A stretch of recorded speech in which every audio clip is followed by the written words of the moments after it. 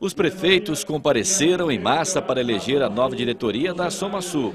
O prefeito de Bataguaçu, que concorria em chapa única, já falava como novo presidente da Associação dos Municípios de Mato Grosso do Sul antes da apuração.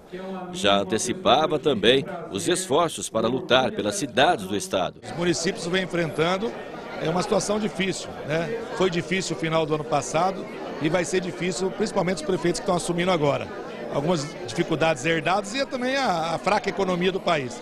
Então a Somasul, como entidade representativa, ela quer trabalhar como um alicerce, como um apoio aos municípios. A votação foi rápida, igualmente a apuração.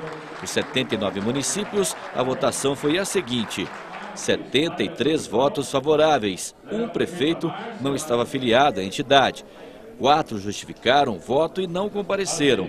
E apenas um votou contrário. Para o presidente da Assembleia Legislativa, Júnior Mock, e para a governadora em exercício, o fato de ser uma chapa única deixa a nova diretoria mais forte e aumenta a tese da união entre os municípios para enfrentar os momentos de crise. Essa parceria que o governo do Estado né, já fez durante esses dois anos que se passaram e os próximos que virão, pode ter certeza que é com o objetivo único, é viver a população, viver melhor, com mais justiça, né, com mais tranquilidade. Das 79 cidades do Mato Grosso do Sul, 23, ou quase 30%, ainda não pagaram a folha de dezembro ou o 13º salário.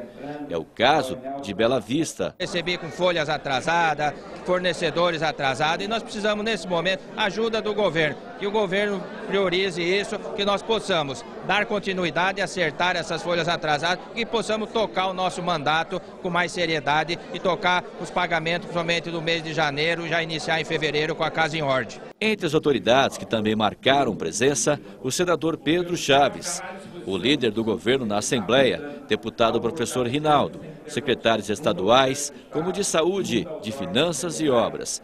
União e a soma de esforços foram as palavras mais faladas no evento, que devem ser os desafios da nova diretoria da Somasul. Nós temos distribuição de Fundersul, de CMS, então é, tentar incrementar essas receitas, auxiliar os municípios no incremento dessas receitas para, como eu disse, melhorar a arrecadação, para que sofram menos com essa falta de recursos.